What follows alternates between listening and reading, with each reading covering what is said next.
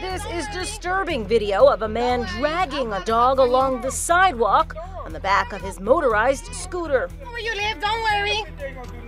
Don't worry, I'll call the cops on you. Mom, this is my dog.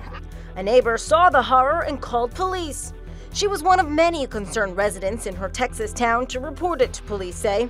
The dog's owner, this man, 59 year old Mario Cardona, is now facing animal cruelty charges. The German Shepherd is now in the hands of animal control. Don't worry, I'll call the cops on you. Mom, this is my dog. Be sure to watch Inside Edition.